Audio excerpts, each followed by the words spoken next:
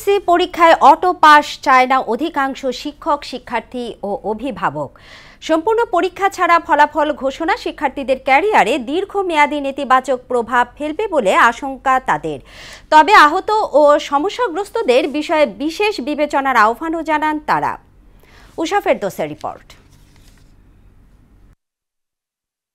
HSC ও সমমানের পরীক্ষার্থী প্রায় সাড়ে চোদ্দ লাখ গত ত্রিশ জুন শুরু হয়ে এরই মধ্যে ষাটটি বিষয়ে পরীক্ষা সম্পন্ন হয়েছে। বাকি রয়েছে আরও ছয়টি। একদল শিক্ষার্থী আন্দোলনের মুখে এইচএসসি ও সম্মানের স্থগিত পরীক্ষাগুলো বাতিলের সিদ্ধান্ত নেয় সরকার।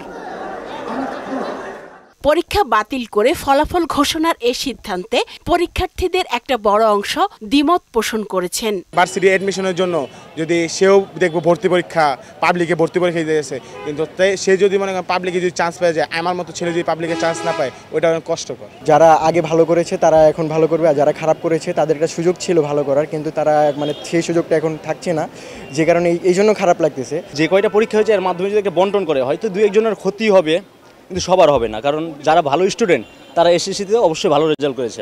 পরীক্ষা না দিয়ে পাশ করায় পরবর্তীতে মনস্তাত্ত্বিকভাবে এই শিক্ষার্থীদের ছোট করবে বলে মনে করছেন অভিভাবকরা।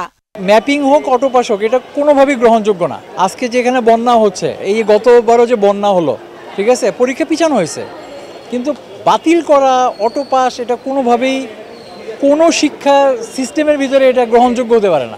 বিশ্ববিদ্যালয় ভর্তি থেকে শুরু করে উচ্চশিক্ষার সর্বস্তরে এমনকি কর্মজীবনে প্রবেশেও জটিলতা তৈরি হবে বলে মনে করছেন শিক্ষকরা। পরীক্ষা হওয়াটা ভালো আর যারা আসলে ইনজুরি হয়ে আছেন বিভিন্নভাবে সমস্যায় আছেন বিশেষ করে আহ, কারও হয়তো কোনো আঘাতপ্রাপ্ত হয়েছেন চোখে পায়ে বা অন্য কোনো স্থানে প্রয়োজনে আলাদাভাবে তাদের জন্য কোনো চিন্তা ভাবনা করা যেতে পারে কিনা সেটা হইতে পারে কিন্তু পরীক্ষাটা হওয়ার উত্তম।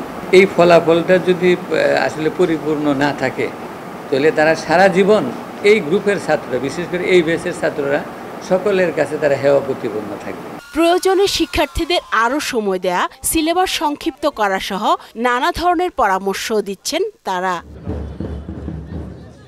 উষা ফেরদোস মোহনা সংবাদ ঢাকা।